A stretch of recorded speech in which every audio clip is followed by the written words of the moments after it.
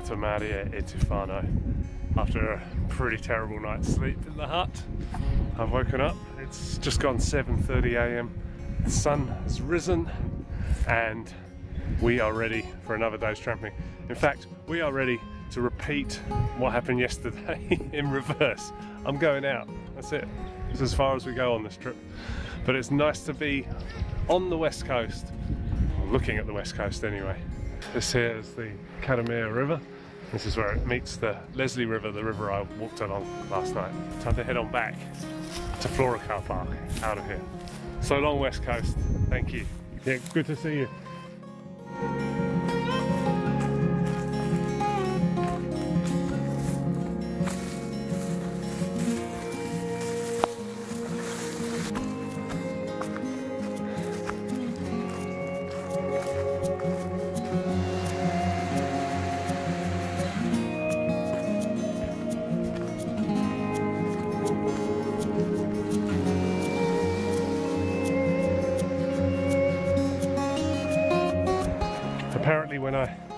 Steamed through this clearing last night, because it was dark, I missed what maybe the old foundations of a hut.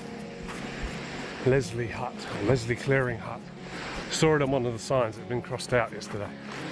Gonna have a little look around, see if I can find it.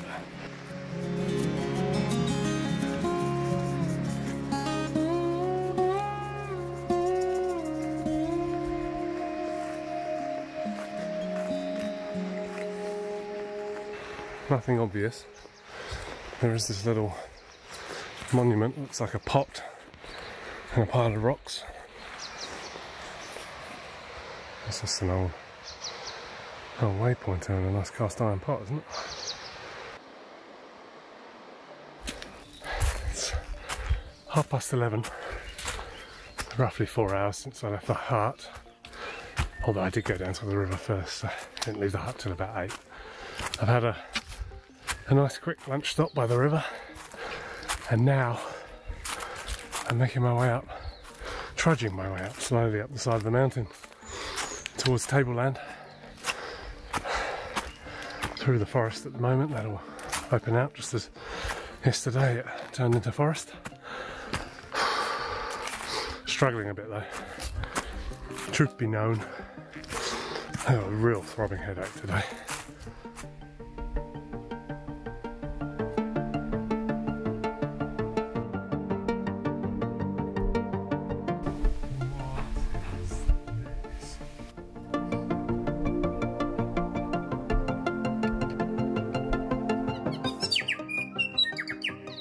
Back at Splugeon's rock shelter, I crashed on the ground to eat some food and give myself a head massage when I was paid a visit by one of the locals, Weka.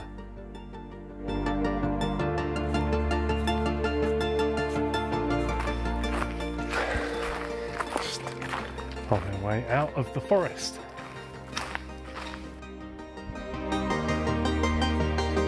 Marauding back over the windy tops, the familiar sight of Mount Arthur and Gordon's Pyramid kept me going. Only, I'd applied a twist to my return route. I was going up and over Gordon's Pyramid and down another track called Clouston's to get back to the Flora Valley. And before all that, I was going to see what Potholes track was all about. Turns out, Potholes going a slightly different way back from Salisbury Hut. I've opted to follow the well, slightly omin- ominously named potholes track. And I've already fallen in a pothole, that happened a few minutes ago. And now, as you can see, I'm scampering up the side of a muddy hill with lots of tufts of grass in the way. Oh, there we go, there's a marker. It looks a little bit more like a track now. For about maybe two minutes. So I've been trying to figure out where this stream is flowing. It's flowing in the direction of Tumonga, Gordon's Pyramid and Tual, Wharepapa, Mount Arthur. So it, the water has to go somewhere, right? We can't just flow up two mountains and get over them. And the answer is it flows into a cave. Presumably emerges somewhere else, maybe the Flora Valley somewhere. Anyway, behind that rock there, behind that little gorge area there, is the cave, and the stream disappears underground. Okay, this is it. We're on. Climbing Gordon's Pyramid. Doesn't look that far, does it? Take about 10 minutes.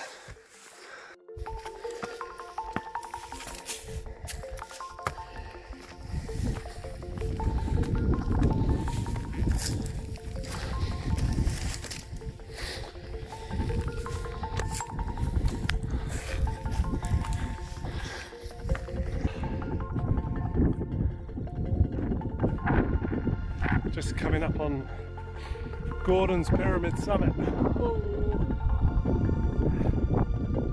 Yeah, it's windy. There's some showers down in the valley where I'm-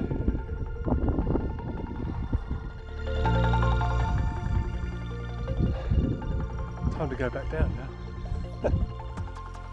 Just left the tussock grass. Returned to the beech forest once again, but also for the final time.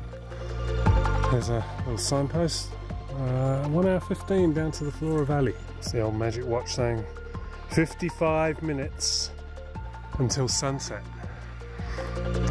I've only gone and done it again, eh?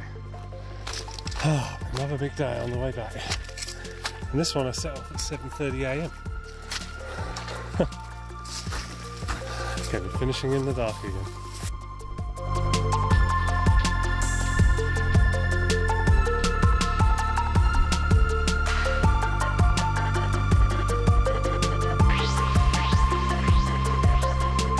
I wondered if we were going to run into these on this adventure, and here they are.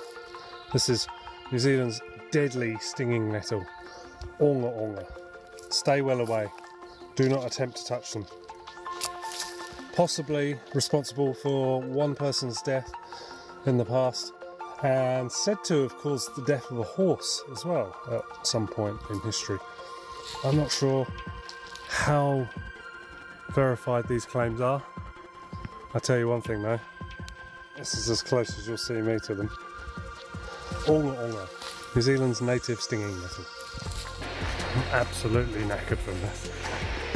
29 and a half kilometres at the moment. It's going to be pretty much oh, 34, 35 kilometres by the end of this. Basically 66, 67 kilometres in two days on foot. Up and down mountains. But it's been worth it. I got to visit one of my two favourite regions in this country, the West Coast, on foot from Tasman, hopped over the border. That was magic. Walking down that valley, Karamea River, seeing all the, the ancient wonder that is that forest down there It was just magic. Hardly anyone ever goes there. New Zealand has a population of 5 million people and just a fraction, just a fraction of a percent of people will ever have walked down that valley. Just incredible. Amazing place to be. Learnings from this then. I think the first real obvious one is everywhere I go, from now on, I've got to take a head torch and make sure that head torch is fully charged. Other learnings. No, I was going to say don't bite off more than you can chew. No, it was fun. I have no regrets. Yeah, I arrived at the hut after dark. That's okay. Didn't break a leg, didn't fall off a ravine. It's all good fun.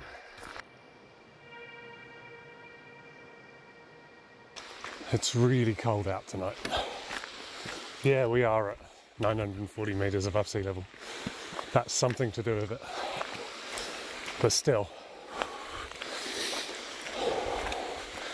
I'm walking uphill at quite a pace and I'm still cold and every inhalation near gives me brain freeze. Still, only about 20 minutes to the car now. Nearly finished. I did it! This 67 kilometre mega hike finished back where it started, in the Flora car park, Tasman region. This trip had everything I wanted and more. The wacky rock bivouacs of the Flora Valley, the savannah coloured tops of tableland, the blue mushrooms and native bird life of the Leslie Valley, those rainforest clad hillsides around Karamea Bend, and a summit climb on the return. It was a shame about the headache, but we still got there. I hope you've enjoyed this video.